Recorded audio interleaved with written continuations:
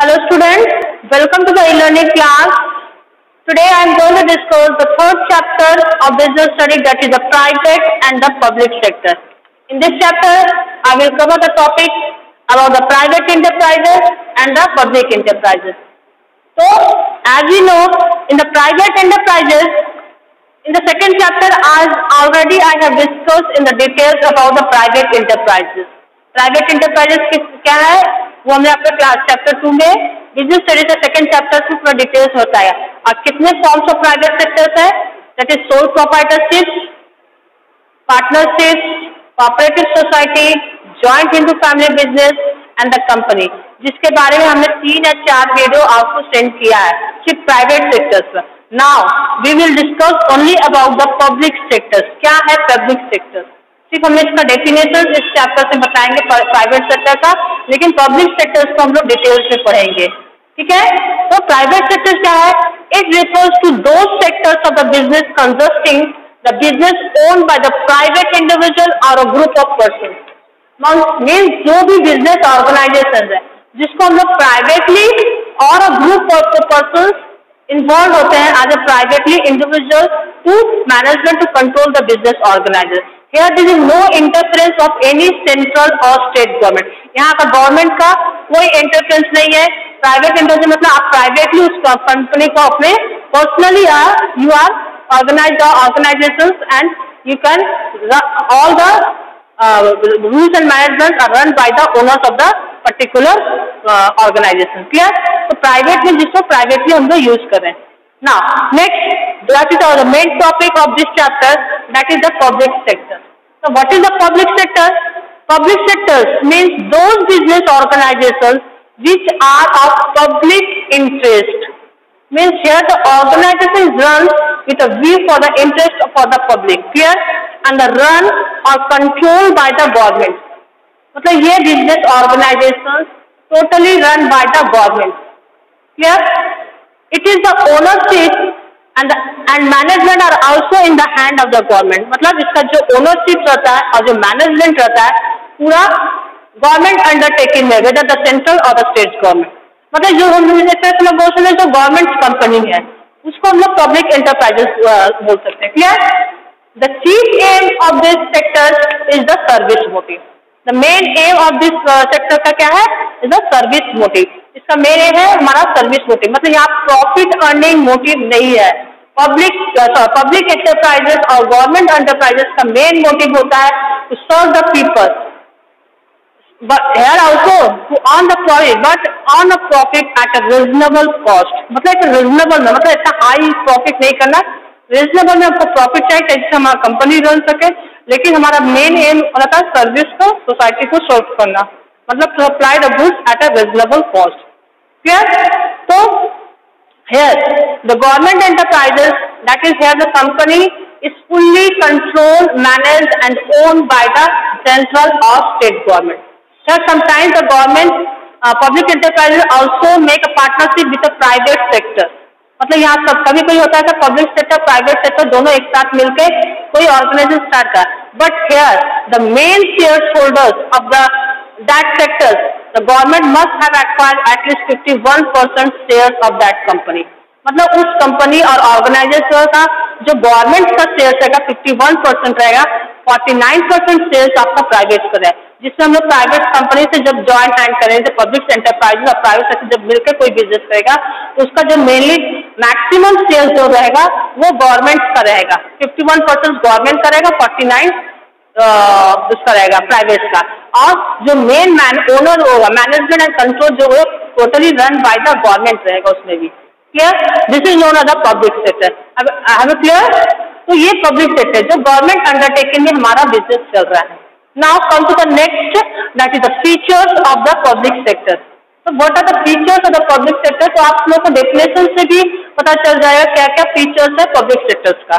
Clear the first feature of the public sector is the state ownership State ownership means here state does not mean the state government. Means here the ownership of the organization is fully controlled by the government. Here the government includes both the central and the state government. मतलब यहाँ पे ऐसा नहीं कि आपको state owner में तो मतलब स्टेट गवर्नमेंट का ही कंट्रोल रहेगा ऐसा नहीं है दोनों मिलकर वो एज अ गवर्नमेंट बोला गया क्या state means the government which include all the government मतलब जो ऑल गवर्नमेंट सब गवर्नमेंट इंक्लूड कर रहा है सेंट्रल स्टेट दोनों क्लियर तो state owners means the the ownership of the organization is fully controlled by the government. Clear? Next, that the state. यहाँ पे ओनरशिप का नाम है तो किसके नाम से चल रहा है वो पब्लिक गवर्नमेंट के नाम से चल रहा है मतलब कोई भी पब्लिक एंटरप्राइजेस जो है वो पब्लिक के नाम से जा रहा है ठीक है यहाँ पर स्टेट ओनरशिप यहाँ पे ये भी बोला जा रहा है, जैसे ये गवर्नमेंट हॉस्पिटल और स्कूल्स ये सब हम लोग पब्लिक एंटरप्राइजेस नहीं आ रहा है। Public enterprises means the act organizers which are set up which are related, with a business जो बिज़नेस purpose से हम लोग कर रहे हैं। ये स्कूल हम लोग का सर्विंग मोटिव है, जिसमें हम लोग को अर्निंग प्रॉफिट मिले।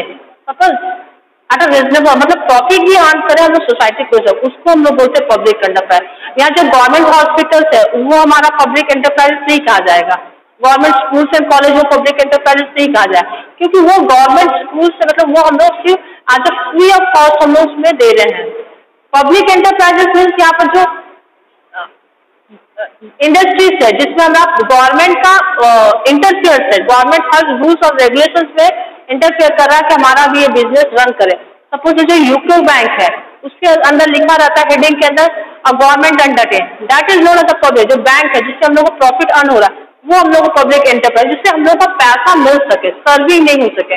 That is known as a public enterprise clear तो ये चीज़ क्लियर रहना चाहिए पब्लिक एंटरप्राइज ना state control here again all the controls of the business organizers are under the controls of the state and the central government. Again state owner से मतलब owner का तो नाम भी पब्लिक एंटरप्राइजर जो कंट्रोल और जो मैनेजमेंट रहेगा, वो पूरा हमारा पब्लिक सेक्टर मतलब गवर्नमेंट के अंडरटेकिंग में रहेगा।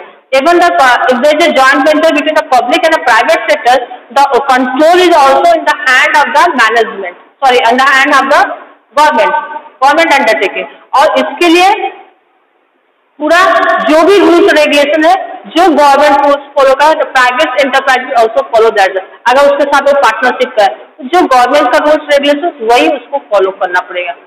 मतलब totally hundred percent control under the hand of the government clear next financial freedom financial freedom means हम जो अगर ऑर्गेनाइजेशन स्टार्ट कर रहे हैं तो हमको फाइनेंशियल की ज़रूरत है। तो हमारा ये जो फाइनेंशियल पब्लिक सेक्टर कहाँ था ये हमारा प्राइवेट सेक्टर से जो फाइनेंशियल आ रहा है, ये टोटली गवर्नमेंट के पास कर रहे हैं। जितना भी हमारा ऑर्गेनाइजेशन में स्टाबलिस करने जो खर्चा आएगा, जो फाइनेंशियल नीड होगा, वो टोटली हमको गवर्नमेंट से हेल्प मिलेगा। Clear that is known as the financial freedom all the financial come from the central और द स्टेट गवर्नमेंट क्लियर ये होगा third feature of the public sector enterprises fourth that is the service motive again we know what is the service motive To serve the society, to sell the goods to the society at a reasonable cost. मतलब here the main aim of the public sector enterprises to serve the society. Not to profit earning मतलब profit motive नहीं होना चाहिए service होना चाहिए। Clear the profit profit earning is at a reasonable cost for serving society must be there बिना serving society आपका वो public intelligence नहीं कर इसका मेन है। One of the important features of public enterprises clear that is the service motive ना public accountability accountability means to answer accountability मतलब आपको कोई वर्क दे दिया गया है ठीक है आपको पर्टिकुलर टास्क दिया है या आपको परफॉर्म द पर्टिकुलर टास्क ना if the time is complete for particular task. Not you are answerable for particular task that you have performing the job, why you have not completed, why, what, in what purpose. मतलब answerable आपको answer देना है आपका। यहाँ public accountability means here the public enterprises is accountable for the public regarding their organises whether the organises on profit और loss and he is also answerable to the government also in the parliament house मतलब parliament the members of this organise जो हमारा members of department undertake जो railway में आ रहे हैं, हमारे और म्यूनसिपल कॉर्पोरेशन वो लोग जो जो मेंबर ऑफ़ जो मेंबर मिनिस्ट्री मेंबर्स में आते हैं, जो एजुकेशन मिनिस्टर फाइनेंस मिनिस्टर्स आ रहे हैं, वो लोग के लिए ये अकाउंटेबिलिटी होना होगा गवर्नमेंट के पास in the parliament house that आप लोग ने जो बजट पास किया, इतना इन्वेस्टमेंट किया तो हमको क्या मिला उससे? मुझे क्या पता? तो मतलब he must be accountable he must be answerable in the front of government और in the public that organisation में हम लोग कितना इन्वेस्टमेंट किया और उससे हमको क्या बेनिफिट मिला, क्या प्रॉफिट मिला और हमने क्या अपना कंट्री और स्टेट के लिए हमने क्या मतलब क्या डेवलपमेंट किया कंपनी ठीक है? तो ये होता है अकाउंटेबल मतलब the public sector is must be accountable to the government और ever in the public public means the share holder जो हुआ becoming the members of the public enterprises है जो शेयर खरीद रहे हैं तो उन लोग भी ऑलरेडी मेंबर्स बन जा रहे हैं कंपनी के तो उन लोग के लिए भी वो अकाउंटेबल है कि अगर प्रॉफिट नहीं हुआ तो क्यों नहीं हुआ प्रॉफिट ऐसा क्या था किसी ने हम हमने तो share capital investor then the members of the parliament, that ministries were accountable for that purpose. Clear? तो यहाँ पर public accountability में समझ आ गया? Next we will come the bureaucracy management bureaucracy means मतलब एक लोग मैनेजमेंट में नहीं रहेंगे। यहाँ पर मैनेजमेंट का डिसीज़न लेने में बहुत डिले लेगा as compare to the private sector क्यों? क्योंकि प्राइवेट सेक्टर्स में ओनर्स खुद डिसीज़न लेता है। बट पब्लिक एंटरप्राइजेस में जितने मेंबर्स हैं, उनका बोर्ड ऑफ़ डायरेक्टर्स का मीटिंग होगा। हर सेल्स होल्डर से कंसर्न लिया जाए कि पर्टिकुलर टास्क को हम लोग जो करना चाह रहे हैं, उसमें जो रूल्स रेगुलेशन एडेप्ट करें या ना करें। अगर कोई प्रॉब्लम आए तो उसके तो वो एक मीटिंग होता है मतलब इसमें लॉट ऑफ़ टाइम मतलब कोई भी एक पर्टिकुलर डिसीज़न लेने में हमको उसके लिए कई प्रोसेस से जाना पड़ता है। अल्टीमेटली जब मीटिंग फाइनल होता है एजेंडा एजेंडा तैयार होता है, उसके बाद हम लोग को फाइनल डिसीज़न होता है कि हाँ ये सक्सेस हो सबका अप्रूवल मिल जाए बोर्ड ऑफ़ डायरेक्टर्स का अप्रूवल मिल जाए शेयर होल्डर्स का अप्रूवल मिल जाए then the decision will be concern going for the particular organ मतलब जो डिसीज़न लिया जाएगा, अगर बोर्ड ऑफ़ डायरेक्टर्स का समय तो मतलब मीटिंग अरेंजमेंट होने के बाद वो फाइनल डिसीज़न लिया इसमें लॉस ऑफ़ टाइम हम लोग का रिकवर हो रहा है। तो जिसकी वजह से हमारा ये ब्यूरोक्रेसी मैनेजमेंट मतलब इसमें बहुत टाइम कंज्यूमिंग हो रहा है एक तरह से। Clear now the last feature useful for all sectors the public sector enterprises established to help all the other sectors of the enterprises मतलब पब्लिक सेक्टर जो स्टैब्लिश होगा वो प्राइवेट सेक्टर के लिए हेल्पफुल भी कर सकता है हेल्प करता है ऐसा नहीं कि सिर्फ़ अपने लिए हेल्प करा, उन लोग का मेन मोटिव है पब्लिक सेक्टर्स का टू सर्व द सोसाइटी मतलब ये अदर सेक्टर्स में भी हेल्पफुल कर रहा है मतलब हमारा जो पब्लिक एंटरप्राइज ये नहीं कि हम जो ऑर्गेनाइज पर्टिकुलर उसी मोड पर वो उससे रिलेटेड दूसरे सेक्टर से भी वो हेल्पफुल करता है so these are the features related to the public sector. Clear? So, come to the next topic. In the previous topic, I will discuss about the public enterprises. Now, we will discuss about the forms of public sector. In this topic, I will cover the topic that is the forms of public sector that is departmental undertaking, public corporations and the government company. Means in this topic I will discuss what is the departmental undertaking, what are their features, merits and demerits, public corporation and the government. First we will discuss about the meaning of departmental undertaking. Now, what is the meaning of departmental undertaking? As in the, as you know, in the private forms of enterprises, there are five forms of private sector. That uh, what is now sole proprietorship, partnership, joint in the family business, cooperative society and the company. But here in the public sector, there are only the three departments, that is the departmental undertaking, public corporation and the government corporation. Clear? Now the first topic is the what is the departmental undertaking. Departmental undertaking क्या होता है? So let's this is the oldest form of public sector enterprises. It is one of the oldest form of the public sector enterprises. Clear?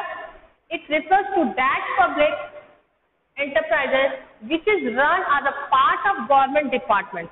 मतलब जो हमारे government के अंदर में कोई एंटरप्राइजेस जो रन कर रहा है under the direction of the ministers मतलब ये गवर्नमेंट एंटरप्राइजेस है the enterprise is fully controlled by the government but here the directors कौन सा रहता है इनका? जो मिनिस्ट्री से थे, जो finance minister the departmental minister जो मतलब डिफरेंट टाइप ऑफ़ मिनिस्टर जो हम लोग को दिया जाता है अपॉइंट किया जाता है कि आप एजुकेशन मिनिस्टर्स और कोई डिफेंस मिनिस्टर्स है तो उनके अंडर में ये पूरा डिपार्टमेंटल किया जाता है। मतलब जो जो गवर्नमेंट अंडरटेकिंग मतलब जिसका चल रहा है रेलवे मिनिस्टर है तो रेलवे मिनिस्टर के अंदर में वो डिपार्टमेंट वर्क चल रहा है। पोस्ट एंड टेलीग्राफ का मिनिस्टर है तो उसमें पोस्टिंग और टेलीग्राफ का जो मिनिस्टर है, उनके अंडर में पूरा कंट्रोल जा रहा है। Clear it has no separate existence then the government it functions under the control of one minister means इसका जो फ़ंक्शन है, एक मिनिस्टर के अंडर कंट्रोल है। मतलब whole you can say owner is the government but the control was under the departmental minister जैसे finance railway ministers है, उसके अंडर में वो रेलवे का पूरा वर्क चलेगा। वो जो बोलेंगे रूल्स रेगुलेशन जो बनाएँगे, उनका चलेगा। लेकिन railway minister is also accountable in the front of government according their department मतलब अपने डिपार्टमेंट का जो भी प्रॉफिट और लॉस होगा, उनको पार्लियामेंट में उनका आंसर देना है कि हम क्या, हमारे क्या इस साल प्रॉफिट हुआ, कितना हमने रेलवे डिपार्टमेंट में इन्वेस्ट किया, कितना हमारा प्रोजेक्ट बना, कितने न्यू रेल्स आए, कितना हमारा ये हुआ। तो वो वो under overall the control of one minister मतलब पूरा कंट्रोल वन मिनिस्टर के हैंड में रहेगा और द डिपार्टमेंटल गवर्नमेंट क्लियर तो some the examples of the departmental railway defence post and telegraph ठीक है? टेलीफोन ये सब होता है हमारे डिपार्टमेंटल अंडरटेकिंग ये सब डिफेंस मिनिस्टर जो हमारे होते हैं डिफेंस मिनिस्टर किसको कहते हैं? जो हमारे आर्मी से रिलेटेड जो वॉर्ड्स में हमारा इन्वेस्टमेंट होता है जो मिलिट्री पे इन्वेस्टमेंट होता है वो उनके सैलरी तो वो हमारे डिफेंस मिनिस्टर्स पूरा करते हैं। तो ये डिपार्टमेंटल अंडरटेकिंग मतलब totally control by the government totally as a government enterprises, but their control was under the head of the of the ministry department. Clear? मतलब गवर्नमेंट अंडरटेकिंग है, आपका, लेकिन मिनिस्टर्स का कंट्रोल करते हैं। This enterprise has no separate legality मतलब अपना कोई एग्जिस्टेंस नहीं है। ये गवर्नमेंट अंडर भले ही वो एज अ डिपार्टमेंटल मिनिस्टर मतलब यहाँ पर जो रेलवे मिनिस्टर्स हैं, उनका कोई पहचान नहीं, वो उनकी गवर्नमेंट कंपनी है। डिपार्टमेंटल है। लेकिन ये गवर्नमेंट अंडरटेकिंग है, लेकिन कंट्रोल कौन कर रहा है? रेलवे मिनिस्टर क्लियर तो department enterprise is one of the part of the enterprise which are are the government undertaking but the control over the ministry clear and the minister is also accountable in the front of the parliament during the time of the budget session budget sessions में जो चलता है तो वो departmental ministers ministers अपने parliament को जवाब देंगे, अपने मिनिस्ट्रीज को जवाब देंगे कि हमने कितना इस साल इन्वेस्टमेंट किया, हमको कितना प्रॉफिट हुआ और हमारा क्या डेवलपमेंट हुआ। क्या इसका मेन मोटिव है not the earn a high rate of profit at a reasonable profit earn करना इनका मेन मोटिव है। इनका सर्विस मोटिव मेन मोटिव होता है, क्योंकि as a ministries are form by the public ये मिनिस्ट्री किसके द्वारा फॉर्म करते हैं? फॉर्म बाय द पब्लिक तो यहाँ पर पब्लिक को सर्विस मोटिव इसका मेन एम होता है। यहाँ पर अर्निंग प्रॉफिट नहीं होता है। क्लियर तो यहाँ पर service motive is the main aim of this departmental undertaking clear so next come to the features of departmental undertake department undertake आप लोग को समझ आया? Now, come to the next point, that is the features of the departmental undertaking first features They operate under the overall control of one minister of central or state government. मतलब हमारा जो department है operate under the overall control मतलब पूरा operate करेगा जो minister रहेगा। कौन कर रहा है? मिनिस्टर्स कर रहे हैं। मिनिस्टर क्या करे पूरा ऑपरेट करे ओवरऑल कंट्रोल करे, पूरा देखभाल कर रहे हैं। They act as one of the serious servant मतलब एक सर्वेंट है। ठीक है, लेकिन उनको पूरा फ़ायदा मिल रहा है। नहीं कि उनको अलग से ये क्या?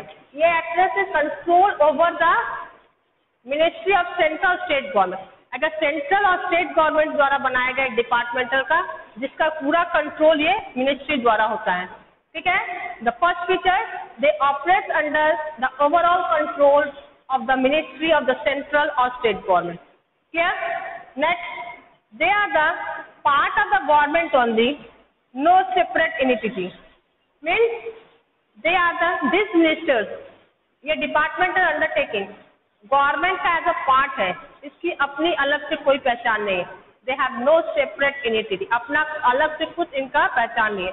जो भी पहचान है जब जैसे रेलवे रेलवे को हमेशा हम लोग क्या कहें they are the government undertaking business मतलब ये ऑर्गेनाइजेशन गवर्नमेंट द्वारा लाया गया मतलब ऐसे भले रेलवे मिनिस्टर देख रहा है, लेकिन पहचान क्या है? आज अ गवर्नमेंट अंडरटेकिंग क्लियर तो they they are the part of the government only no separate entity they are the financial from the annual budget of the government यहाँ का इनका फाइनेंशियल कहाँ से होता है ये ऑर्गेनाइजेशन जो हम लोग चल रहा है, हमारा रेलवे चल रहा है पोस्टिंग एंड टेलीग्राफ जो चल रहा है इसका फाइनेंस कहाँ से आता है? ये हमारा जो बजट सेशन चलता है पार्लियामेंट में उस समय ये रेलवे मिनिस्ट्रीज जो रेलवे मिनिस्टर डिफेंस मिनिस्टर ये लोग अपना एक बजट पेश करते हैं पार्लियामेंट में कि इस पार्लियामेंट में क्या बजट पेश करते कि हमको अपने रेलवे डिपार्टमेंट के लिए इतना फाइनेंस की ज़रूरत है? क्लियर अपने इतने फाइनेंस की हम लोग की ज़रूरत है। ना the parliament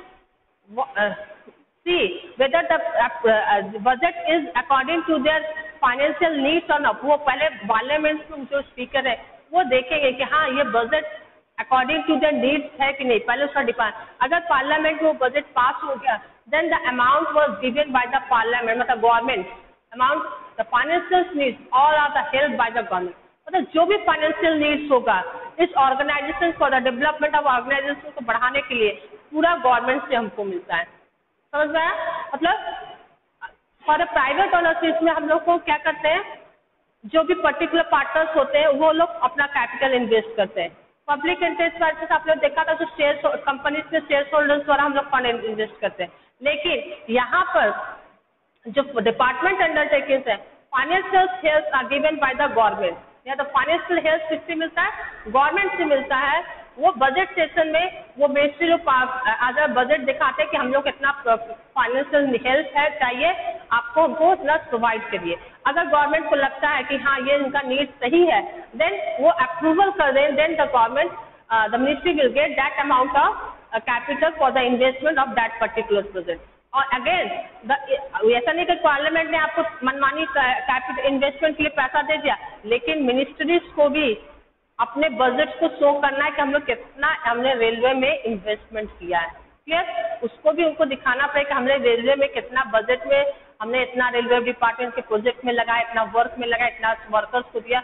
वो पूरा उनको डिटेल्स चाहिए कि आपने कहाँ कहाँ इन्वेस्टमेंट किया है।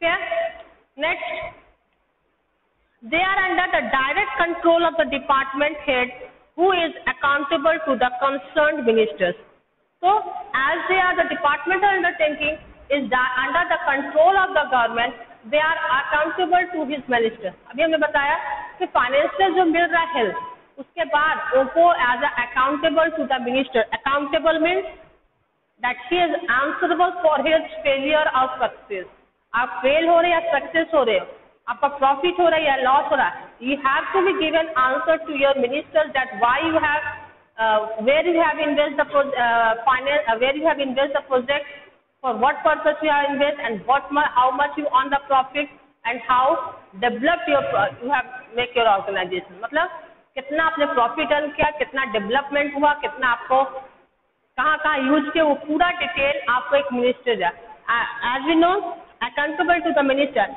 but means the department the minister is accountable to the public accountable to the public means public को क्यों अकाउंटेबल है? क्योंकि जो मिनिस्टर जो बन रहे हैं, वो पब्लिक द्वारा ही बना रहा है। ये मिनिस्टर हम लोग के हेल्प के लिए पब्लिक के हेल्प के लिए बनाया जा रहा है, ताकि हम लोग को हेल्प कर सके। Then we have to make a ministry clear तो come to the next point that is the merit of the departmental undertaking तो क्या क्या एडवांटेज है हमारा डिपार्टमेंटल अंडरटेकिंग से So first it is easy formation. How it is easy formation? Because it does not require any registration for forming this departmental.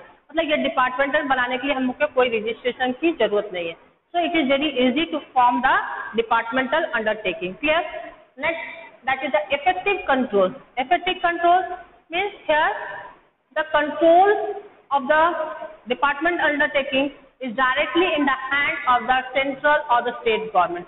मतलब इसका जो control है, पूरा सेंट्रल और स्टेट गवर्नमेंट के अंदर है। इसलिए it was effectively control by the government under the departmental undertaking मतलब डिपार्टमेंट अंडरटेकिंग में हमारा टोटली गवर्नमेंट कंट्रोल है, जो बहुत ही इफेक्टिवली होता है, क्योंकि आज they are accountable to the ministries मतलब जो मिनिस्ट्रीज होते हैं, वो accountable in the parliament clear next optimum utilisation of fund optimum utilisation of fund mean as this government is government undertaking and the ministries were accountable in the parliament regarding the investment of their fund so they is a proper utilisation of fund in the departmental undertaking clear तो department जो हमारा utilisation of fund वो as a बहुत ही minimum वे से use किया जाए ताकि इफ़ेक्टिव वे से यूज़ है because they are directly under the control of the central government clear next accountability accountability means here to be answerable मतलब आप कोई भी वर्क कर रहे हैं उसके लिए आप आंसरेबल हो वेदर यू आर सक्सेस और of failure So the ministry are here accountable in the front of the government that what you have your uh, what the whether you have make a uh, development in progress or not whether you have earned profit or not whether you have served the society or not the public को benefits मिल है ये पूरा ministry जो मतलब accountable मतलब मतलब जो मिनिस्ट्री डिपार्टमेंट है वो पूरा आंसरेबल रहेगा in the front of the government कि आपने पब्लिक के लिए क्या किया आपको क्या प्रॉफिट मिल रहा है क्या अर्न कर रहे हो आप लोग और जो, जो भी वर्क करे उसका आंसर दीजिए आज पूरा फ़ाइल डॉक्यूमेंट्स के हिसाब से। मतलब आपने एक प्रोजेक्ट के लिए इतना फंड लिया तो आपने कितना डेवलपमेंट किया। तो वो पूरा अकाउंटेबिलिटी है। क्लियर अकाउंटेबल आंसरेबल मतलब आप जो वर्क करें उसके लिए आप आंसर हो कि आपने ये वर्क किया है नहीं किया है क्यों नहीं किया है? दोनों के लिए। अगर आपने वर्क किया है तो कितना प्रॉफिट हुआ कितना इन्वेस्टमेंट किया क्या अर्न किया वो। अगर नहीं हो पा रहा आपका प्रोजेक्ट वो भी आंसर करिए कि आपने ये प्रोजेक्ट क्यों नहीं कंप्लीट किया। Clear that is the meaning of accountability clear ना public revenue public revenue mean the revenue which are collected from the government to increase the treasury of the government मतलब government की revenue को increase करने को बोला गया है। यहाँ पर जो भी रेवेन्यू अर्न हो रहा है, वो डायरेक्ट गवर्नमेंट के पास जा रहा है। यहाँ पर मिनिस्टर्स लोग के पास नहीं जा उन्हें सिर्फ़ ऑपरेट और कंट्रोल करके देख रहे हैं। लेकिन जो भी रेवेन्यू अर्न हो रहा है वो हम एक तरह से हमारा गवर्नमेंट का रेवेन्यू इंक्रीज कर रहा है। वो गवर्नमेंट के पास जा रहा है। तो यहाँ से एक तरह से हमारा का डिपार्टमेंट अंडरटेकिंग हमारा गवर्नमेंट रेवेन्यू को इंक्रीज कर रहा है। It help to increase the government revenue और the treasury of the government clear next secrecy secrecy means यहाँ पर जो हमारा अकाउंट्स मतलब डिपार्टमेंट है मतलब जो हमारा फाइल्स डॉक्यूमेंट्स है वो पूरा सेंट्रल स्टेट गवर्नमेंट के अंदर में जो सीक्रेट मतलब हमारा जो हर चीज़ आंसर मतलब हर सबके पास रहेगा हर डिपार्टमेंट का अपना एक हो। जैसे रेलवे मिनिस्टर के पास रेलवे का पूरा रहेगा। डिफेंस मिनिस्टर का उनका पूरा। ये नहीं कि इनका पूरा जो भी ऑडिट और जो अकाउंट्स होगा, वो डिफेंस मिनिस्टर हो गया। ऐसा कुछ नहीं। तो ये एक तरह से हमारा ये डॉक्यूमेंट भी सीक्रेट रहता है in the departmental undertaking as they are control by the government तो इट वॉज़ नॉट इस मतलब so by at and every ministries of the department मतलब हर मिनिस्ट्रीज को नहीं देगा जो जिस डिपार्टमेंट होगा उसी डिपार्टमेंट के पास उनका डॉक्यूमेंट रहेगा, वो अदर डिपार्टमेंट में नहीं जाएगा। Clear that is the secrecy it is another advantage और merit for the departmental undertaking next we will come to the demerit of the departmental undertaking क्या डीमेरिट है डिपार्टमेंटल अंडरटेकिंग का? What is first it is inflexibility inflexibility क्यों हो रहा है? Flexible मतलब होता है, स्थायी होता है। तो as there different ministers are there involve in the departmental undertaking तो हर का एक अलग डिसीज़न होगा। जिसकी वजह से हमारा मैनेजमेंट प्रॉपरली फ्लेक्सिबल लेता इनफ्लेक्सिबल रहेगा। कभी कोई कुछ डिसीज़न ले रहा है तो कोई कुछ डिसीज़न ले रहा है। इसकी वजह से हमारा जो डिपार्टमेंटल अंडरटेकिंग जो जो मैनेजमेंट पार्ट है, वहाँ पर इनफ्लेक्सिबिलिटी अरेंजमेंट है। मतलब डिसीज़न जो लिया जा रहा है, वो इनफ्लेक्सिबल क्योंकि यहाँ पर कितने मिनिस्टर्स इन्वॉल्व हो रहे हैं उस पर्टिकुलर डिपार्टमेंट के में, जो उस उसका डिसीज़न ले रहे हैं। To that reason the departmental undertaking organiser is the inflexibility in nature clear lack of motivation now lack of motivation one point I have missed that here the staff members are selected as a civil servant जो हमारे railway department में जो work कर रहे हैं, वो staff लोग कहाँ से आ रहे हैं? एज अ सिविल सर्वेंट मतलब सिविल सर्विस गवर्नमेंट अंडरटेकिंग में है, वो गवर्नमेंट जो भी एम्प्लॉय है, वो गवर्नमेंट एम्प्लॉय होंगे। कोई प्राइवेट नहीं है। जिस तरह से जो सिविल सर्वेंट्स के लिए जो भी रूल्स प्रोसीड्यूर्स होता है for the selection for the appointment of the work के लिए जॉब के लिए, उसी प्रोसेस से वो अगर पास करता, तब वो सिविल सर्वेंट के लिए अप्लाई होता है क्लियर मतलब ये गवर्नमेंट जॉब जॉब्स है?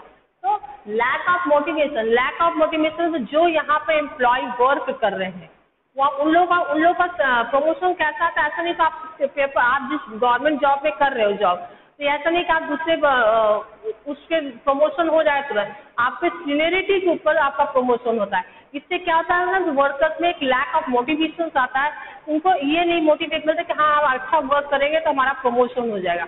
उनके वर्क एक्सपीरियंस प्रमोशन नहीं होता। उनकी सीनियरिटी को उनको प्रमोशन है। मतलब जितना आप ज़्यादा साल तक वर्क करोगे, उसके उसके तरह आपका डिपार्टमेंट में आपका प्रमोशन होगा। आप उस, जैसे आप एज ए अकाउंटेंट हैं तो आपको ऑडिट मतलब आगे चलने के लिए आपको कम से कम दस पंद्रह साल उसमें वर्क करोगे, तब जाके आपका डिपार्टमेंट अदर्स में वो होगा प्रमोशन होगा। उसके लिए ऐसा नहीं कि आप अच्छा वर्क करोगे तो प्रमोशन हो जाएगा। तो ये भी एक हमारा lack of motivation departmental undertaking में देखा जा रहा है कि एम्प्लॉय के अंदर लैक मोटिवेशन का बहुत ही ये है कि एम्प्लॉय मतलब उत्साह से वर्क नहीं करते। कि रहना है तो इसी पोस्ट पर प्रमोशन तो मिलना नहीं है। जब तक सीनियर सिटीजन नहीं हुए, हम लोग को प्रमोशन नहीं हुआ। इसकी वजह से there is lack of motivation source under the departmental undertaking clear next management. Inefficient management means here there are the so many ministers who are involved to take the particular decision. मतलब parliament में जब वो होता है, वो budget session का जब meeting involve होता है, तब different ministers way put together to take decision regarding the particular department तो उसकी वजह से हमारा टाइम कंज्यूम और जिसकी वजह से हमारा जो मैनेजमेंट है, जो एफिशिएंट वे से रन नहीं करता है इन एफिशियंट वे तो this is another way which for the day demerit of the departmental undertaking that is the inefficient management हमारा मैनेजमेंट भी अच्छा से वर्क नहीं कर रहा है. Clear next point that is the lack of financial autonomy lack of financial autonomy means here the department under uh, undertaking cannot invest their project for a long term because they are under the control of the budgetary मतलब budget के हिसाब से अपना fund को investment करते हैं जितना budget में आपको गवर्नमेंट द्वारा बजट पास हो आप उतना ही इन्वेस्टमेंट कर सकते उससे ज़्यादा नहीं कर सकते as a long term planning आप नहीं कर सकते क्यों? क्योंकि आपका budget under the control of government जितना जो रेवेन्यू आपको मिल रहा है, वो गवर्नमेंट के पास, उस रेवेन्यू का आप अपने से यूटिलाइज नहीं कर सकते। मतलब आप जो रेवेन्यू अर्न करें, वो as kept as a government treasury increase the government treasury or government revenue, you cannot utilize this fund in their own way. आप वो फंड जो रेवेन्यू अर्न कर रहे हैं, उससे आप उस फंड को यूटिलाइज नहीं कर सकते अपने से without the permission of the government तो there a lack of financial autonomy मतलब अपना डिसीज़न आप नहीं लेते फंड के जो फाइनेंशियल सेल्स आप रेवेन्यू कर उससे आप कोई फाइनेंशियल हेल्प नहीं कर सकते। अपने से कोई यूटिलाइज नहीं कर सकते कि आप कोई अलग से बिज़नेस स्टार्ट कर सके या उस फंड का कुछ अच्छा सा यूटिलाइज डेवलपमेंट के लिए करना हो तो उस फंड का यूटिलाइज नहीं कर सकते आप। क्लियर